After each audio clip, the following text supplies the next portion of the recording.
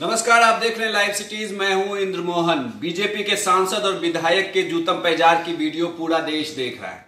पूरा देश ये समझने की कोशिश कर रहा है कि जिन जनता ने, जिस जनता ने अपने प्रतिनिधि को चुना, वो सांसद में उनके विकास की बात क्या करते वो तो कलेक्ट्रेट में ही एक दूसरे से उलझे पड़े हैं। बात इतनी बढ़ गई, इनका गुस्से का स्तर आप देखिए। विधायक कहता है मैं जूते निकालू और इतने में सांसद जूता मारना शुरू कर देते एक दो जूते नहीं पूरे एक बार में दस जूते बरसाता है वो विधायक के ऊपर। उसके बाद गालियाँ इस तरीके से निकलती है जो आप शायद सुन नहीं सकते या आपने शायद सुना भी नहीं होगा अगर आप इलाइट क्लास के हैं। खैर क्लास से गालियों का कोई लेना देना नहीं जब ये सांसद जनता के बीच से निकलकर संसद में पहुँचते हैं तो ये भी लाइट क्लास के हो जाते हैं।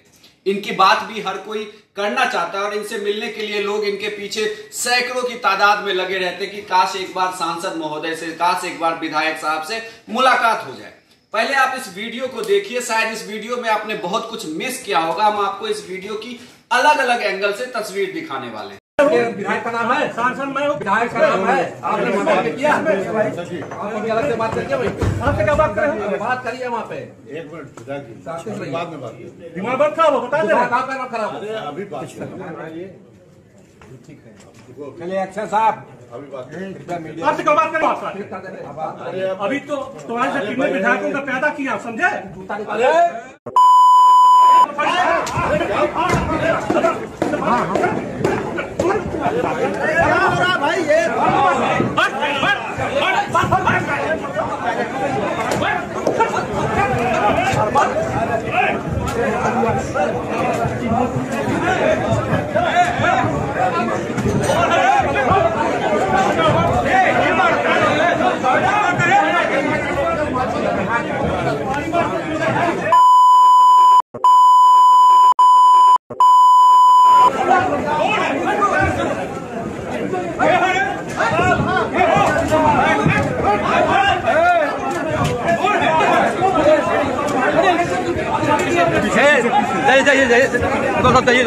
आपने इस वीडियो को देख लिया। इस वीडियो में लगातार जूते बरसाए जा रहे थे, सांसद महोदय लगातार जूते बरसा रहे थे। अब आपको इस सांसद महोदय के बारे में भी थोड़ा सा बता देते हैं।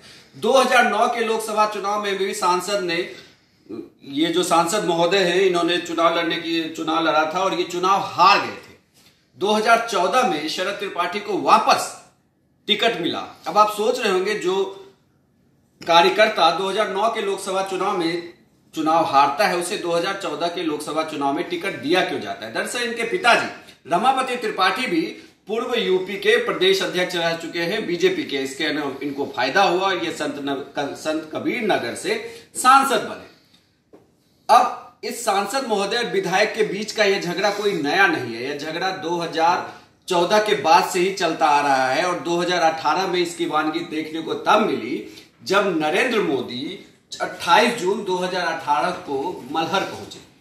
विधायक और सांसद का झगड़ा अब जो जूतम पैजार में बदला, इसके पीछे की कहानी भी बड़ी लंबी है। 2014 से जब लोकसभा में सांसद शरद त्रिपाठी पहुँचे तब से ये लगातार विधायकों को इग्नोर कर रहे थे, ऐसा विधायक कह रहे थे। इनके क्षेत्र के विधायकों का कहना था कि ये किसी भी जब पार्टी का कोई भी कार्यक्रम होता है, इसमें ये विधायक को इग्नोर कर देते हैं। किसी भी शिलापट को लगाया जाता है तो इसमें ये विधायकों का नाम नहीं रखते। इसकी वानगी तब सबसे ज़्यादा देखने को मिली जब 28 जून 2018 को प्रधानमंत्री नरेंद्र मोदी मगहर पहुँचे। मगहर पहुँचने पर हुआ ऐसा कि प्रधानमंत्री नरेंद्र मोदी के स्वागत में सिर्फ़ सांसद शरद त्रिपाठी ही थे। और किसी भी विधायक को वहाँ बुलाया नहीं गया, जिससे ये विधायक लगातार नाराज़ चल रहे थे। संत कबीर नगर के परफॉर्मेंस को भी देखते हुए लगातार ये बातें कही जा रही है कि शरद त्रिपाठी को अब लोकसभा का टिकट नहीं दिया जाएगा। 25 ऐसे यूपी में सांसद हैं जिन पर बीजेपी सर्जिकल स्ट्राइक करने वाली है, जिनके टिकटों का पत्ता साफ़ करने वाली उसमें से एक नाम शरद त्रिपाठी का भी लिया जा रहा है। ऐसे में वहाँ के विधायक लगातार इस कोशिश में हैं कि अब सांसद सदन तक वही पहुँचे। इस सांसद का पत्ता वो कैसे काटे, इसके लिए वो लगातार प्रयास कर रहे हैं। इसी प्रयास में जब कलेक्ट्रेट में ये आम बैठक चल रही थी, वहाँ शिलापट पर नाम को लेकर बातचीत शुरू होती है। उसके बाद बातचीत का जो अंजाम होता है, वो पूरा देश देख चुका है। देश दुनिया की तमाम खबरों के लिए आप लाइव सिटीज़ देखते रहिए। अगर आपने अभी तक हमें सब्सक्राइब नहीं किया है तो हमें सब्सक्राइब ज़रूर कर ले और खबरों को डिटेल से पढ़ने के लिए आप लाइव सिटीज़ डॉट इन